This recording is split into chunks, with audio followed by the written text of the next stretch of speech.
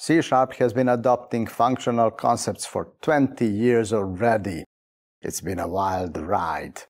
Let's remember a few of them. Generics, higher order functions, lambdas, LINQ, expression-bodied members, tuples, record types, immutable collections, and whatnot. If you looked at the latest C-sharp code, it might even look identical to the corresponding F-sharp code. That's how far we have gone with that.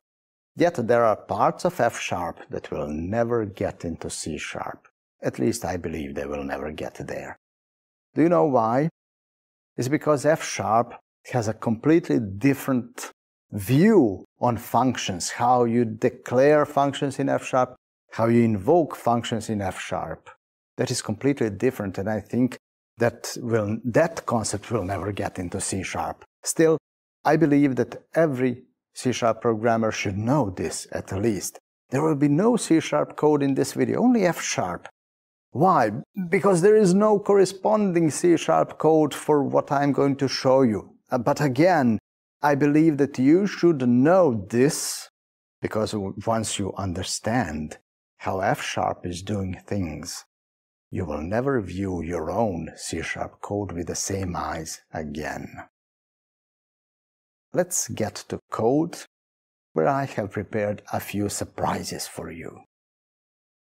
This is an empty Visual Studio code. I will start F sharp interactive Let's start with the example with which everybody else start adding two numbers. This is the function that adds values x and y, but I can do something that I cannot do in C Sharp. I can define a new function add1, which is the add function with the first argument being fixed to 1. That is the partial function application in F sharp. If I add 1, 5, the result would be 6. So I have a completely new function which this time receives only one argument, not two. Why doesn't C Sharp have partial function application? Why cannot you invoke a method in C Sharp with just one parameter? Because the result of that would be a func delegate not an int. If there is an add method with two integer parameters, you just have to give both parameters to it. Let's move on to something bigger in this demo. I have declared a couple of types I will be using, and I have created a couple of objects.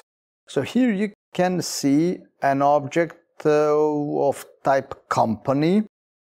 It is representing a company with the name and a list of contacts. One is the billing address, the other one is the shipping address. This is the object I want to use in the rest of the demo. I want to declare a function get a label which accepts an address. It would return a list of strings. One will be the street, the other will be formatted zip and city, and the third one would be the state from the address.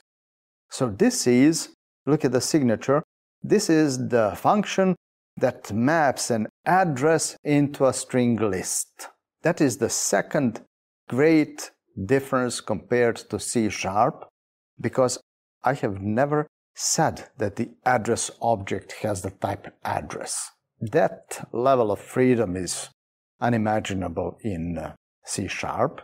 C sharp requires everything to be typed.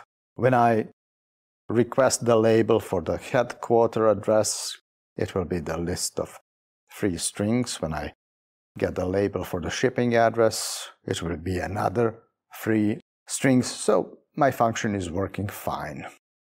I want to extract the shipping address from a company object. However, I don't know whether the shipping address exists.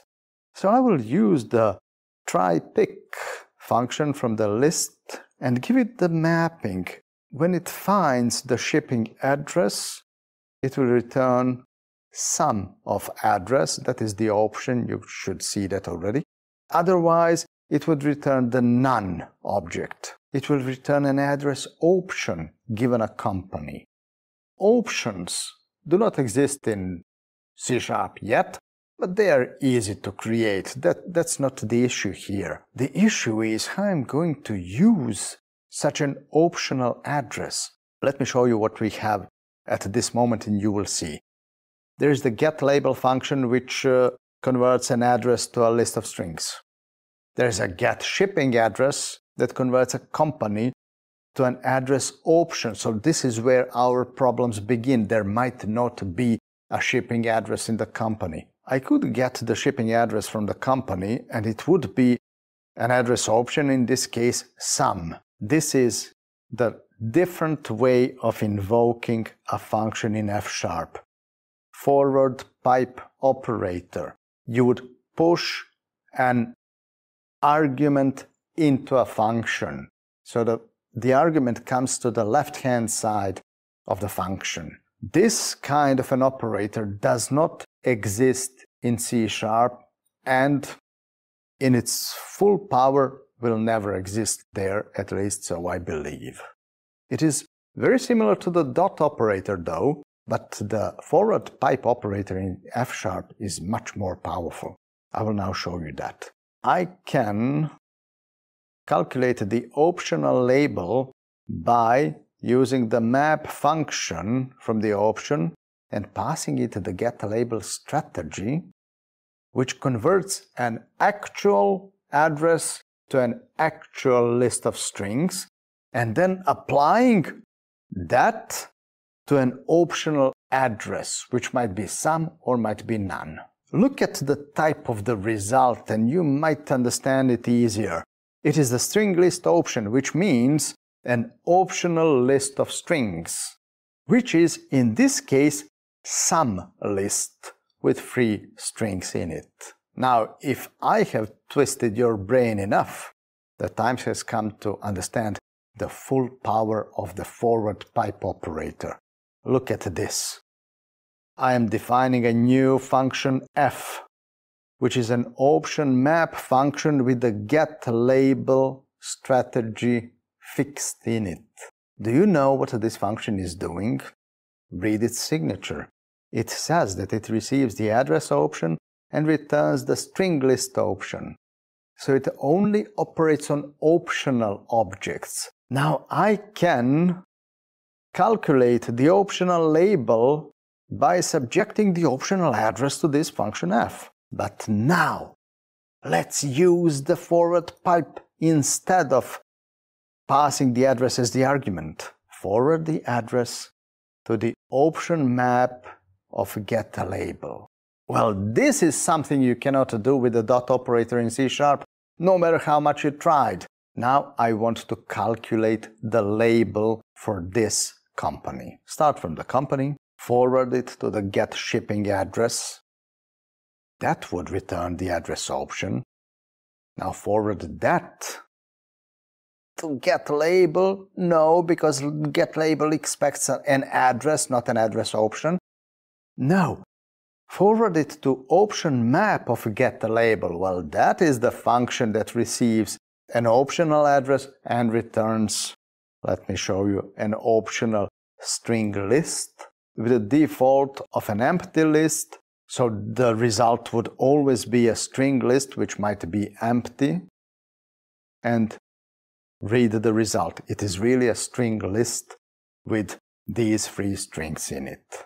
This is the fourth element, which we will probably never see in C Sharp, constructing an entire pipeline of operations from partially applied functions. I can create an entire new function which receives a company and then subjects that company to one, two, three transforms essentially turning a company into a string list. So I have the entire pipeline captured in a single function now. I will construct a completely new object in place and here you will see another element of F sharp which is probably never going to get into C sharp. The compiler will detect the type from component names.